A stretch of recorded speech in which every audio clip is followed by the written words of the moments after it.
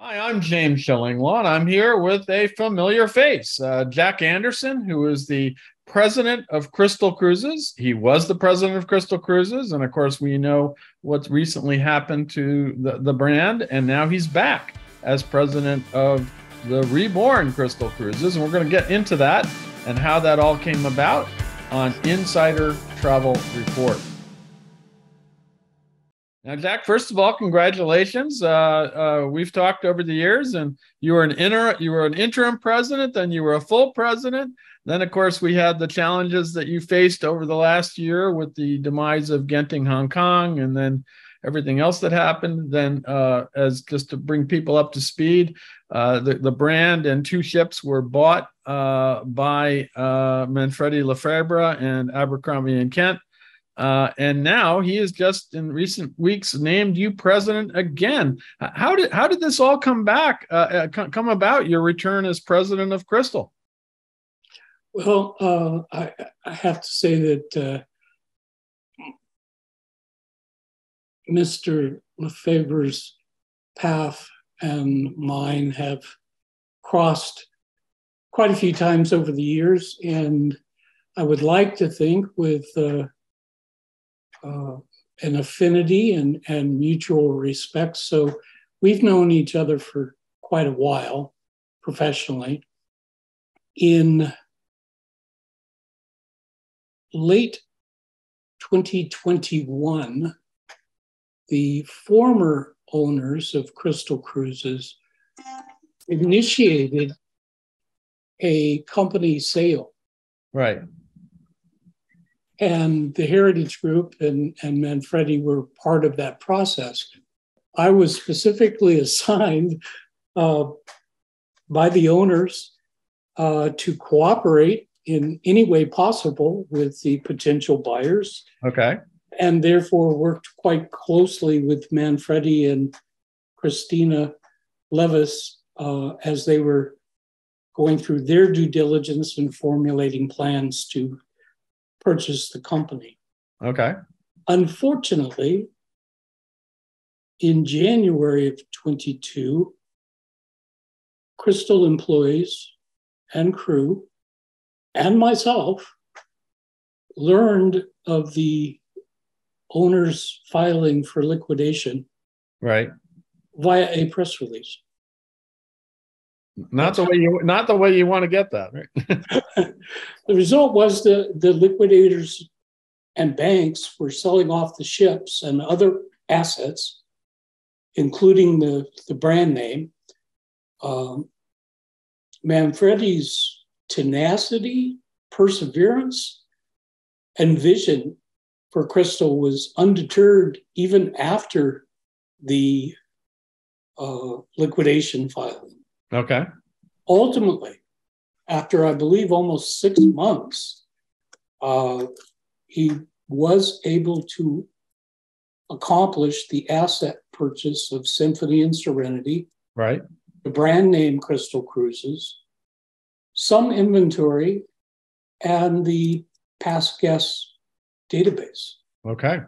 Uh, at that time, Manfredi asked me to help create the new Crystal and it was a pretty easy decision.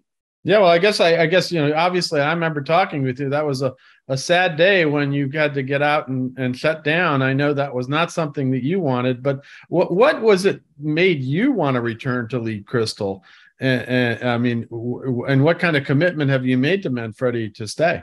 Sure, the uh, the opportunity to work with Manfredi and Jeffrey Kent to restore the Crystal brand to its penultimate place as the best of the luxury cruise lines is certainly part of my motivation um, to bring back the best officers and crew in the cruise industry. Um, I will stay as long as uh, I add value to this mm-hmm. company.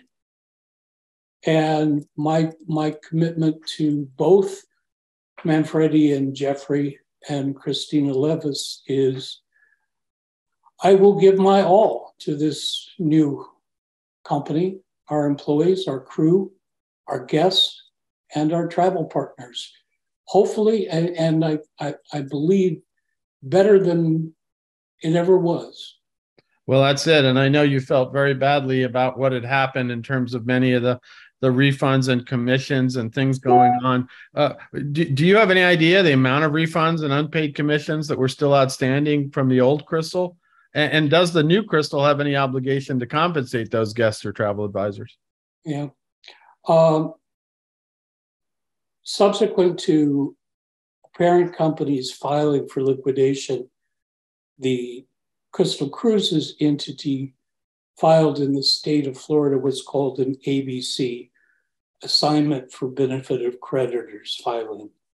In that process, the court appoints a, a, an assignee. Uh, in this case, it's Michael Moecker and Associates.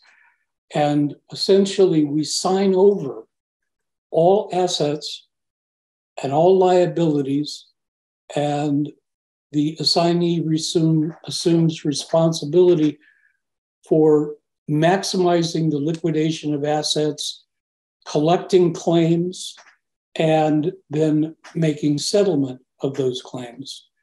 We do not have those records, and mm. we do not have any visibility to the amounts owed nor the progress, although I hope and expect that there has been progress. Um, it would not be possible uh, for us to interfere with the court legal assignment for this effort. And although we share that a significant contribution was made uh, by the Heritage Group to Moeckers in the process of acquiring acquiring inventory and the past guest database. Okay. So that was part of the liquidation that generates cash for the claim settlement. Let me tell you, it was a very significant amount of money. Um, there are many other assets that were liquidated. And of course, a great deal of money was being held by credit card companies. But uh, we have neither visibility or, or capability or responsibility that has now been assigned by the court.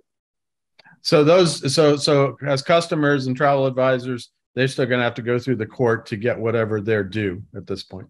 Well, uh, Moeckers and Associates has sent notification to customers, travel agents, and vendors of the process to submit claims. And on what was Crystal Cruises' website for a very significant amount of time. If you went there, uh, you were introduced to Moeckers and the process of how to file a claim. Got it. Uh, we have now recovered the website and will be building the new Crystal Cruises website. Um, but that's the process. And uh, the, they're very knowledgeable, competent people that are going through that diligently.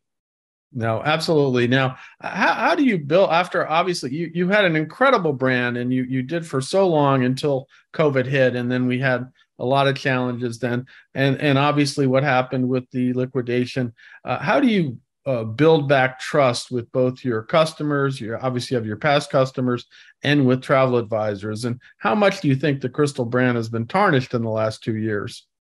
We do plan to make very significant incentives for Crystal Pass guests and uh, incentives for travel agents to book the new Crystal cruise lines when the the new itineraries are launched. Right. I expect we'll have to win them back one at a time. Uh, I, I, I can tell you that it's overwhelming the amount of uh, positive messages that I've received and, and we see in social media from guests and travel agents alike and former employees that are hoping for the best and looking forward to Crystal's uh, recreation. No, it is true. I mean, Crystal had a beloved brand, and and it it sort of went south very quickly. Not not through anything that the folks at Crystal did, but uh, because of your parent company in large extent, and obviously because of COVID and other things that were going on at the time. Now, uh, you're you've then so you've got the two ocean going ships. You've got uh, uh, Crystal Symphony and Crystal Serenity, uh, and I understand that they're both going into going to be renovated. what's the process now, and how long will that take? Uh, we're working with the uh, Fincantieri shipyard and ship designers in uh, a, a, definition process of what work will be done. Right. I can tell you it will be extensive. It will include uh, a significant amount of staterooms where there are currently two stateroom or three staterooms they'll be converted into two. Okay. They'll be 50% larger. Uh, larger staterooms with butlers, a lower guest capacity. Right. Are just some of the objectives in the, the dry dock and refurbishment. Both ships will have a, a, extensive uh, dry dock work to bring them up and uh, freshening of all the public areas and staterooms as well, just to make them look as pristine and new as possible. Uh, one of the benefits that will fall out of the uh, reconfiguration of staterooms, less staterooms, larger staterooms, right, and the reduction of guest capacity is it's important to remember these two ships were some of the most spacious uh, at sea in terms of guest public space ratios. Right. But we reduce the capacity, they're going to be much more, even more luxurious and spacious. Uh, and, and we're going through room by room looking for opportunities not only to just make it look make sure everything looks perfect, but to innovate, introduce new things, mm-hmm. um, and dazzle both our, our travel partners and guests when they return. No, and absolutely, and I and, and I, I, I, they were always spacious, and as you said, they'll be even more spacious. But but how long is the shelf life for both of these ships? They both date from, I believe, the 1990s, early 2000s. Uh, uh, how how long can you keep doing this? You the, the ships were always incredibly well maintained. Uh, that that always have was always the case. Whenever I got on, I was amazed that you know this did not look like a ship that dated from the 90s, let's say. Uh, but but what? How long? You know the the bones of the ship, uh, or can you just keep on doing this for a while? The life of a cruise ship depends a lot on your investment in continual maintenance and refurbishments, which was done up until COVID. Right. And now it will be restored over the extended dry dock and refurbishment period. The ships have a warm, classic lines and appeal. They're going to have spacious staterooms, spacious public areas, resulting from the lower guest counts. I do not believe either ship has an expiration date. Okay, that that's fair enough. Now, now you, you mentioned, and how long will the process take to get these ships out? Uh, when do you expect to see them back in the water? Uh, still tentative, but uh, at this point, we have, we're not more specific than next summer. Okay. And then also, uh, uh, you, you know, the, there's next. So next summer, uh, you're, you're planning? And what about itineraries? Uh, when are you going to start releasing those and figuring out where you're going to go? Yeah, fourth, fourth quarter this year. Oh, okay. So early. So you will get, and they'll be bookable at that point, probably. Uh, in, in, approximately th- that same time frame. That's our fantastic. Goal. No, now now let's talk about some of the other assets that were part of Crystal, when you were overseeing it, uh, wh- what's happened with the four river cruise vessels? Well, actually five, if you count the Mozart, but uh, the newer ones. Uh, to my knowledge, I haven't heard anything about them being sold by the court. Uh, and and would would Manfredi and his team, I know at one point wanted, I thought we are going to think about buying the whole thing. Uh, are they still interested in buying those river cruise uh, festivals, Manfredi and Heritage? I haven't seen any indication. That, that's a question that would be better directed to Manfredi, but at this time they seem to be uh, entirely focused on creating these ocean ships right. uh, return in an ultra luxury category. Um, i do not know the status of the river ships. It kind of went dark. Yeah. The only people that would really have knowledge or Alvarez and Marsal the uh, the genting hong kong assigned liquidators and the lending banks themselves but i have no knowledge of what's happened to what were extraordinarily beautiful river ships. They were. They were some of them again the most some of the most spacious and um, you know basically the lowest passenger count and things like that. And uh, I thought always thought you know given what Abercrombie and Kent does and uh, it would have been a good fit. But for now, I guess you're going to have to to digest the two ships that you have and and get those going and we'll see what happens with those river ships. Of course as we know uh, the expedition ship which a lot of people wanted uh, was eventually bought uh, by royal caribbean and put into the Silversea fleet. Uh, that that would have been a nice addition i think to uh, expedition but right now that's that's gone to Silversea right? Yeah I, I, i'll just say we're very disappointed not to be able to acquire the endeavor right is an, ex- an exceptional expedition ship, and uh, hopefully, uh, expedition will be in Crystal Cruise's future. Now, uh, did when you talked with Manfredi and signed on, did he make any commitment about whether uh, beyond the two existing ocean-going ships, uh, he was interested in possibly building more ships, uh, either ocean-going or perhaps expedition?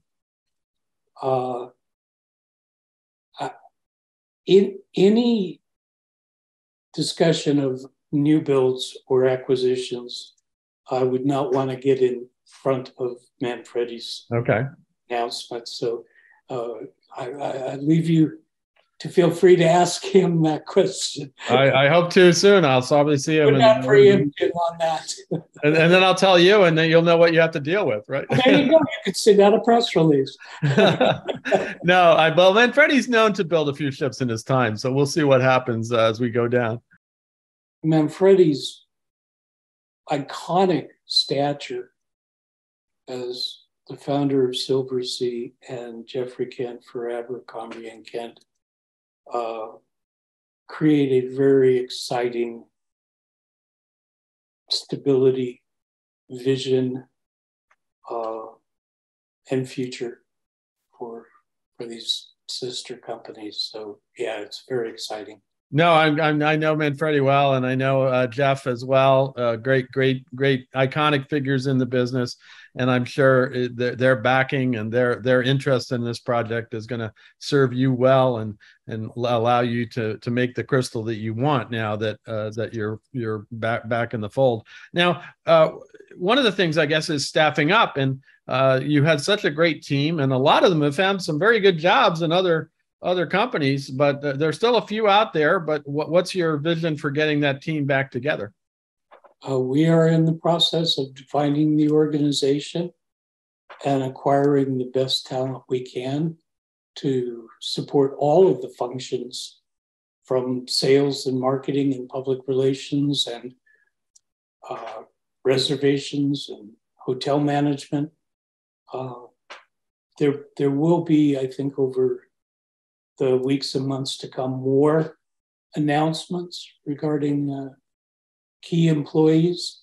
And we are certainly also making invitation and outreach to the past crew and officers. Right. Uh, they they were, they are, and they will be the heartbeat uh, for Crystal. They, they're so loved by by guests and agents. They're they're amazing. So we are focusing on on getting uh, employees back and the crew back, and I expect as we make these announcements, people will be comfortable and impressed with the quality of the team on and off the ships. Yeah, well, Crystal, as you mentioned, is really well known for its crew, its staff, uh, and I do know some staffers who are uh, some crew who are eager to get back on board as soon as they can. Uh, even though they may have gone to other uh, companies uh, at, at, this point, but they they might they might be open to an offer. We'll That's see what happens. Yeah. Now, uh, when you what what when you first became president and when you are pre- you're president now, what what has been your first action? What are you focusing on initially? Oh, there, this is Everything. a this is a new startup company, uh, right? And, and, as you said, because the assets were all uh, blown asunder, and and employees necessarily, and and in many cases with my help, have moved on to other companies and positions. Mm-hmm. Uh, we're looking for a new office. We're hiring employees. We're, we're setting up policies and procedures. We're developing the, the marketing positioning. Um, this week and next, I'll be working on itineraries mm-hmm. uh, as a primary focus. But with all of that said, everything is focused on excellence of people, product, service, and everything that we can do to earn the trust of our past guests and our travel partners. And as in that vein, is there anything else you want to say? We go out to about 105,000 travel advisors now. Uh, what do you want to say to them uh, as this uh, rebirth of Crystal and you're back in charge? I have so many friends in the travel advisor side of the business um, that have reached out with phone calls and emails and text messages of hope and support and more of our past guests than I can count going, tell me when, tell me where. I want to book the first cruise. I hope you'll be there and I look forward to seeing you again. So, to all of our travel partners and guests, I, I, I humbly say thank you. And we're going to do everything we can to make it amazing. And I think you will. And I got to tell you, when I spoke with you that last week, it was not a fun time for you. It was not, it was very sad. I know you were upset and it, it was not something you wanted to see, but it sounds like you're having fun now. Uh, we're, we're creating a new company and it, it, it's, it's going to be amazing. And well, we have great support and working with Abercrombie and Kent. Uh, it, it just provides for a great team, great synergy opportunities, uh, excellent leadership and vision. Yeah, it's a bit more fun than maybe when we talked in January. I would hope so. I would hope so. Now you mentioned that you got the website back, uh, and I assume you're starting to put up stuff there. What what's the URL now for the the reborn crystal? Is it crystalcruises.com? Sure is. All right. So w- uh, you're not going to find a lot there yet. Uh, okay. But it says you know we're back. Right. Uh, there's going to be a, a section for career opportunities. Mm-hmm. And then as we finalize itineraries, you know, we'll start populating itineraries as we finalize the plans for the ship and have uh, drawings and more details about the enhancements on board the ships. All of that will start filling in on the website. We'll be providing regular updates to uh, media and issuing press releases, emails to our past guests and travel partners, and as you said, crystalcruises.com. All will have more and more information as we progress. Well, Jack, first of all, congratulations on your back. As I said, you're, you're, I'm happy to see this. It was, it was, it was really the beginning of the year was not a pleasant time for all of us who love Crystal, and we're sad to see it go. For for you, I know you felt so strongly about it. You've been working with this company off and on, and and as a consultant, as back into president, interim president. I still remember saying, "Why don't you just take the full presidency?" And you did, uh, and then you had to deal with all the Your idea you had all the fallout after that, which who knew we were at that point we were we were going to be in COVID. But again, congratulations! Uh, I look forward to seeing you in person soon, and uh, good luck with all the things you have to do. But it sounds like you're going to have a fun time doing it because you can now bring it back the way you want to. Thank you, James. It's always a pleasure speaking with you. I'm James Shillinglaw, and this is Insider Travel Report.